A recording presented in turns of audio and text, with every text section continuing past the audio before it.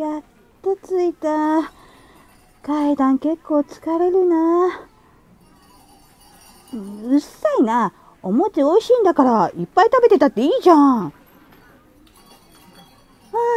あ、やっぱり三が日外して正解だったね。予想通り人少ない。うん、私もそう。人混みって苦手なんだよね。じゃあ先にお参りしよっか。えー、っと、小銭、小銭。あ、った。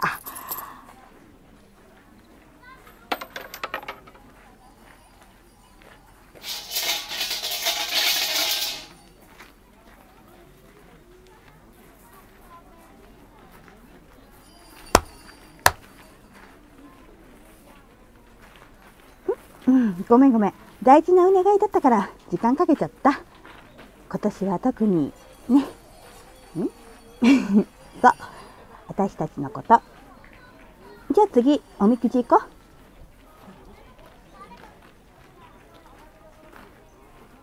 う。よし。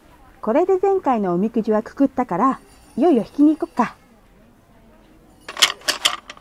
えー、っと、23番かな。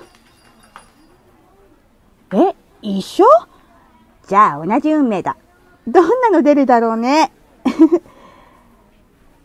23番ください。はい。2人とも同じなので2枚。はい。ありがとうございます。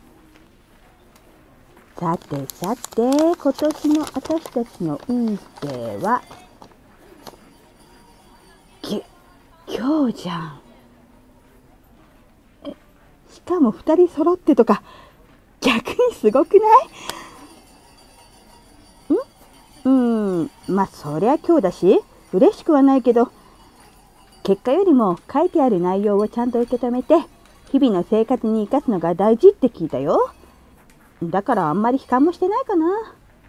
あ、ほら、ここ。隣人を大切にせよ。常に心遣いと感謝を忘れぬこと。だって。ちゃんと受け止めた？うん、運勢関係なく木にくくっても持って帰ってもいいんだって。私は持って帰ろうかな。くくってくる？オッケー。じゃあ荷物持っとく。あ、あの絵馬。今年もやっぱりあの大学に受かりますようにってあるね。ほら、これと、あこれも、偏差値高いもんな、そこ。ん？